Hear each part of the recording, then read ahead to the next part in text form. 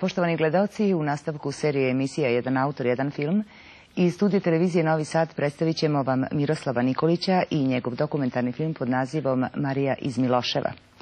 Iz novinskih napisa mogli smo dosta toga saznati o Mariji iz Miloševa, a kroz nekoliko minuta vidjet ćemo i filmski zapis o ovoj plemenitoj ženi. Druže Nikoliću, u svom filmu ispričali ste jednu neobičnu, nesvakidašnju, toplu ljudsku priču. Recite nam preostalo kako ste zapravo saznali o za Mariju iz Miloševa? Pa ja sam zapazio jedan vrlo mali članak u novinama. Nekoliko redaka je bilo ispisano o ženi koja uh, sakuća iznemogla lica decu i vodi brigu o njima. Našao sam se slučajno u Negotinu, uh, obišao Mariju, porazgovarao s njom i vidio da tu ima lepih uslova se napravi jedan dobar dokumentarac u jednom stvarno nesvakidičnom slučaju. Na televiziji, filmu pa i u štampi evo često srećemo ličnosti slične Mariji Đorđević koje su čitav svoj život posvetile nekom opštem dobru. E, recite nam, šta po vašem mišljenju motiviša ove ljude da čak i svoj privatni život podrede nekim humanitarnim ciljevima? Pa ja bih govorio o Mariji. Marija je ovaj, sticajem okolnosti sama svoje vremena u mladosti e, pripadala i bila egzistencijalno e, neobezbeđena i bila je prinuđena da krene da se bavi jednim takvim uslovno rečeno poslom, e, da bi na kraju od nekoliko ljudi završila sa 20 pacijenta, kako oni zove, štićenika, i vremenom se uhodila u taj posao. Naravno, sada je to već nešto što bi se uslovno opet moglo reći deo male prirode, ali u svakom slučaju jedan posao koji e, iza koga stoji veliki humani odnos prema tim ljudima same Marije, koja je jedna vitalna žena, nepismena žena, ipak e, uspjela da vodi čitav jedan taj, jednu to, tako veliko brigu o ljudima koji se, nažalost, nalaze u takvoj situaciji da su obačeni od svojih najbližih i jedino utičište nalaze kod Marije. Kod Marije. E, film je zapravo posvećen Mariji Đorđević, ali nju najmanje vidimo i čujemo, jer u filmu svoje sudbine kazuju njezini štićenici. E, što mislite, da li briga o ovim starim, nemoćnim i nesrećnim ljudima e, o kojima bi zapravo trebalo da se stara društvo, može da bude prepuštena jednoj privatnoj inicijativi? Pa, ne znam što vam kažem. E, u svakom slučaju to funkcioniše. Očigledno, pa čuo sam ja da sad da postoji više osoba koje se bave sličnim e, poslom. To bi vjerojatno bilo u kompetenciji, bilo bi bolje da se to, da društvo povede malo više brige o tome, ali pretpostavljam da nije u ovom trenutku u mogućnosti tako nešto uradi u kompletnom broju. Tako da i pozdravljam ovo što Marija radi. Pozdravljam sve one ljude koji bi krenuli takvim putem i činili stvari koje Marija iz Miloševa evo već nekoliko, već Boga mi 25 godina obavlja. E, pošto ste u toku priprema i snimanja filma imali priliku da bolje upoznate Mariju Đorđević, recite kako okolina u kojoj živi i radi gleda na ovaj njezin prevashodno humanitarni posao? Pa mogu vam reći da okolina baš nije sasvim uh, prijateljski raspoložena prema Mariji, što je mene začudilo.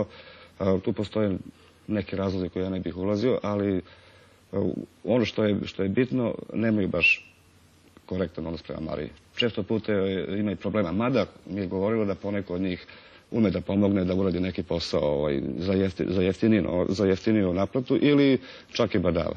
Dobija neku pomoć možda od tih ljudi u vidu namirnica, a uglavnom veći deo dobija od opštine Negotin e, i socijalne zavode za socijalni rad u Negotinu. Da.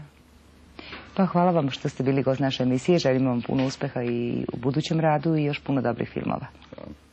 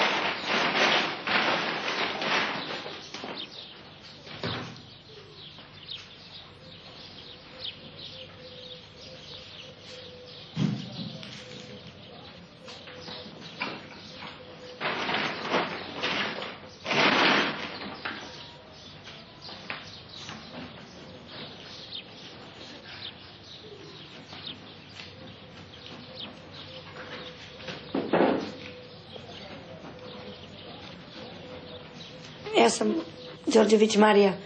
Ja nisam imala imanje i posao i otišla sam u centar socijalni rad da tražim posao, ja sam nepismena žena.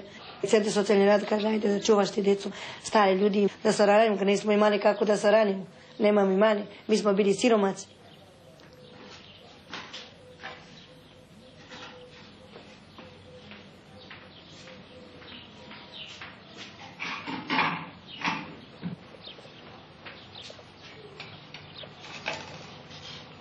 Ja sam se udala kad sam imala 13 godina u Miloševo prema Negotin. Pošto ja nisam imala decu, ja sam uzela da čuvam decu i da ostavim za mene tu u jednu kuću i polako, polako je po jedan dete, po jedan starac došlo ovdje i puna mi je kuća svaki dan. Ajde na doručak. Ajde. Gotovo, Marijo. Gotovo. Ajde. Ja ne mogu, Marijo, napad. Dobro, ja ti donesem tu ako ne možeš. Dobro. Mario, ne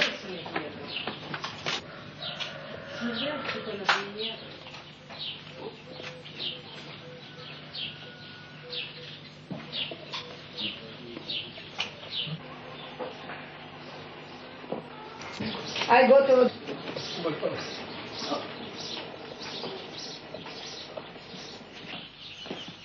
Ajde, polako, polako. Onako dok dođemo do prave. Dobro, evo. E, polako, pazi ovdje. E. e.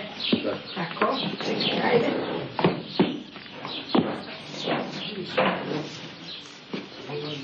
Znači, ovo je kako se zašto Ovako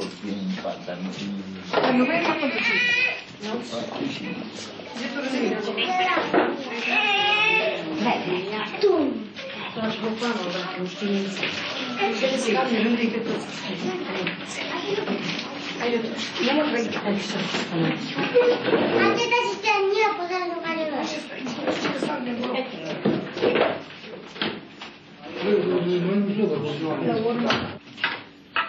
Štićenice imam iz Kladova. Imam iz Negotina, imam iz Mokranj, imam iz e, Jagbovac, imam iz Urovice, imam iz Vidrovac, imam iz Reke, imam iz Malanice, imam iz uh, Sikolj. Evo doručak. Hvala. Ajde, jedite. Doručak. Dobro.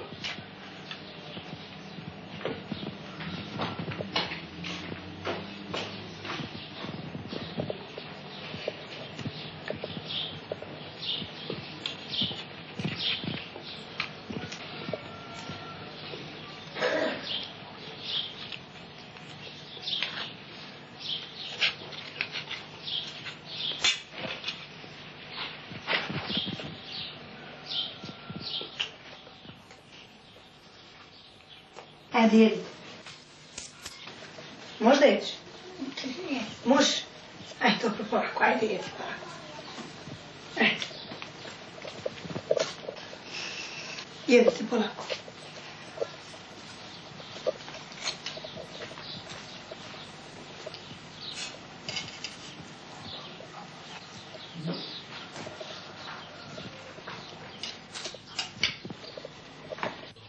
Ja sam Božidar Adamović iz Balajnice. I sad, evo zimi dođem ko Marije ovdje, kad ne mogu sam se plašim od zime, tako. A leti imam neku baštu pa idem i ja da sadim po nešto tamo i eto tako. A prvi put znate kako sam došao ovdje, sam slomio sam ruku pa sam došao u bolnicu. I poslije one kaže gdje da te namestim, došla živka iz centra. Kaže gdje da te namestim. Ja sam čuo, bio neki rade sa s mene tamo. Kaže bre da ideš u, u Miljoševo Marije, kaže. Tamo, kaže, o, dobra ona žena. I ja sam došao kad sam čuo tako i eto tako.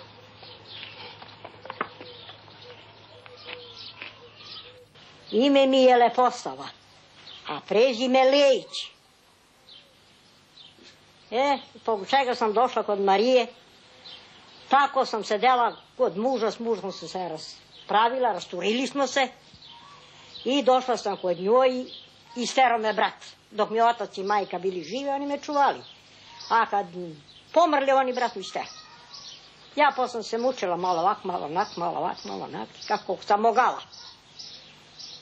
I više nisam mogla i morala sam tu.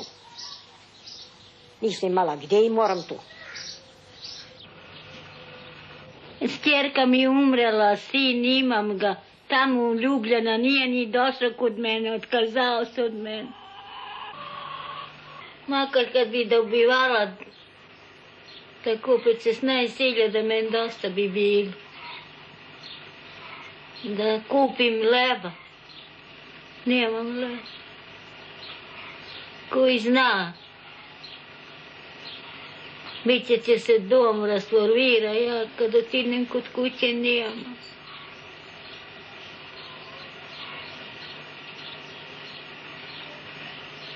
Ništa nemam. Vrata mi razbili, ja ne mogu da idem, Marija mi ne da. Ja sam ovdje iz Vidrovca. Ako znaš. Vidrovac. Tu blizu. Ali ona mi ne da i kad mi umrela čerka, ja nisam bila. Ne da straju da će oteti, neće ja do decembre. Ja ne bi došla kad bi utekla. I sad tako.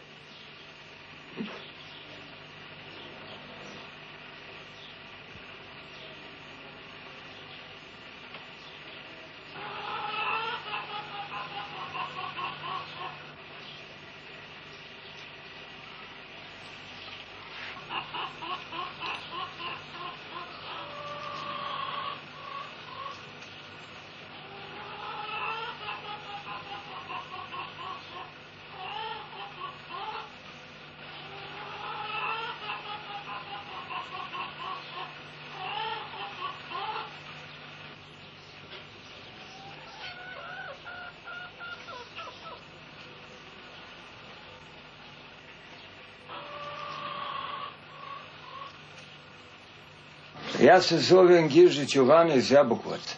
I on mu pravo. Ja se nalazim kod Marija gdje će skoro 14 godine. Ja sam slijep 68. godine. Meni je oslijepio brat od strica. Zbog neku šumaricu što smo se posvađali tek i sad se posvađa moj zet sa njega sa, zbog to šumaricu. I on me omrzio i oslijepi me, udario mi je kolcom po vratu i po leđima i zlomio me i rebra i poslije najzad nabio mi je prst u oči. I tako sam ostao sto posto slijep koji mene namješteno vještačko oko. I sad sam ja sto posto slijep niti sunci, ja primijetim na čelo da je vruć, a inače ne vidim. Dobro, ja nisam baš neki svrać, ali eto malo radi zanimacije da...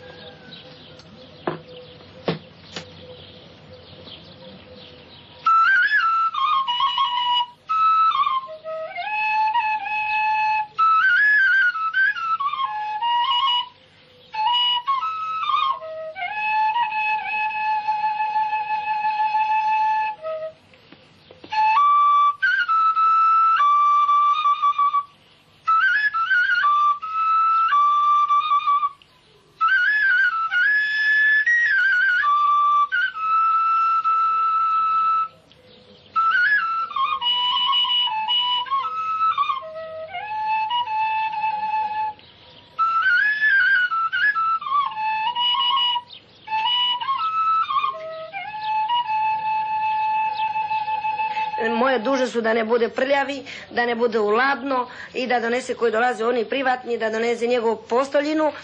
A za jelo što jedem ja, jede i oni. Ja kažem, evo imamo tako doručak, ručak, večeru, sedimo, pijemo kafu, pijemo čaj, jedemo meso, imamo sira, što god. od- I oni ljudi čim čuje to odmah, drugi dan prebace stari tu. Prošlo si do sad u mojoj kući 100 ljudi, više od 100 ljudi, a umrla je 60. Neki put slučajno donese mi da živi tu, a on umre na dva, tri dana, pusti iz bolnice, nego ti neka... Koji zna, ne može nepokretni da drži tamo i čim dođe tu, drži vi dva, tri nedelju dana i on umre posle. A mene mi je krivo kad umre, ja volim da živi, zato jesam primila da uzmem pari. da zaradim, da imam mjesta da jedem. Ja sam Dragomir Stefanović, psiholog i direktor Centra za socijalni rad u Negotinu. Sticajem okolnosti, Marija je pre 20 godina počela da prihvata stara iznemogla lica, za koje slobodno mogu da kažem da su odbačene od porodice i o licima za koje ustanove socijalne zaštite uopšte nisu zainteresovani da ih prihvate. Trenutno na porodičnom smeštaju kod Marije mi imamo 16 korisnika, od kojih su 14 odraslih lica i dvoje dece sa majkama. Od ovih 14 lica, petoro su nepokretna, a troje su slepa lica.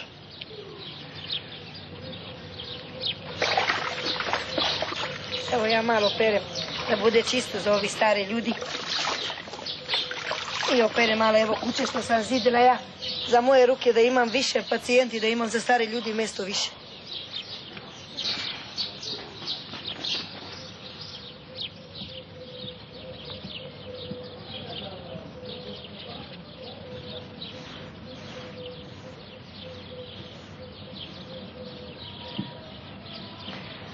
Evo moja kuća, nova, imam namjeru da završim što pre. Košta ni 100 i 20 miliona. 120 miliona do sada. Ako skupimo još toliko, mi završimo. Ima još, ima tišaraj, ima da se maltreći, ima struju, ima ograde, ima sve. Ono što Marija dobija za smeštaj tih korisnika je dosta simbolično, nedovoljno da pokrije sve one troškove, međutim Mariju ne vezuje novac za ovaj posao, mislim da nju vezuje sasvim nešto drugo, ljubav prema tojim ljudima, želja da, da ljudima u, ne, u nevolji pomogne. Marija je do sada više puta za ovaj posao, humani posao koji obavlja, javno pohvaljivana i nagrađivana, a treba istaći i tu nagradu koju je 80. godine dobila od Republičke zajednice socijalne zaštite. O Mariji ne mogu stvarno ništa drugo da kažem osim da ona je žena koja je u svakom trenutku spremna da prihvati svakog, da svakome pomogne, da je to jedna žena za koju su jedini motivi ljubav i želja da se pritekne u pomoć u najtežem trenutku.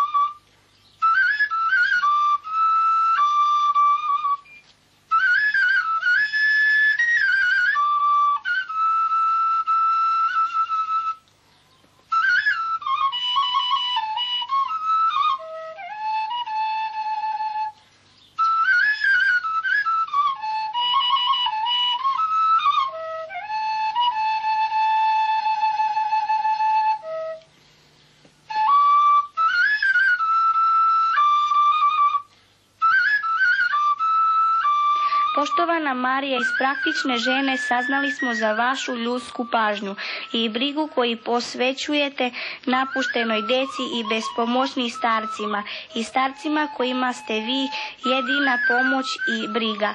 Malo je nažalost takvih primjera danas, i, a sutra će ih biti sigurno još manje. Sve je najmanje više i nepuštene dece i starih ljudi o kojima nema ko da vidi računa. Život nas je uputio na neke staze kojima se kraj još ne vidi. I ja sam u situaciju sličnoj starcima koje negujete i čuvate. Ima majku koja živi u Požarecu i stara je 81. godina. Od smrti moga oca 1981. godine majka je počela ne, ne naglo da kopni da ne vidi brigu o sebi i da se zapuštava li, činili smo sve što smo mogli ali bez uspjeha samoć, samoća joj teška i nesnosna. Sve četvoro dece kojih ima stariji su od 50 godina, imaju svoje porodice, a sa njima i svoje probleme. Ja živim u Beogradu s kućenim stambenim prilikama, a majka je u Požarecu si sa stvojenoj kući ne postoji način da neko od njene dece vodi brigu o njoj, pa vas pitam da li i da li postoji mogućnost da majka boravi kod vas u kući, da, bor, da barem te znanje dan, dane provede dostojanstveno.